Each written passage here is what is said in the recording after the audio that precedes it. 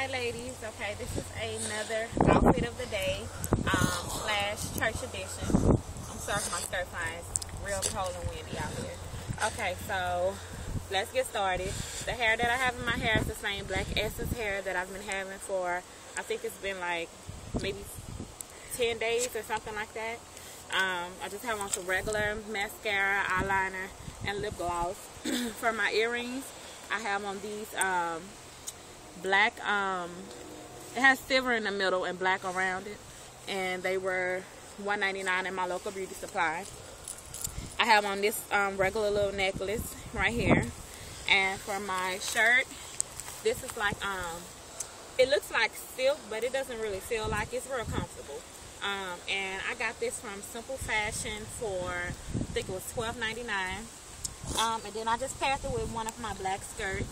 Um, I don't don't ask me where I got it from because I'm not for sure.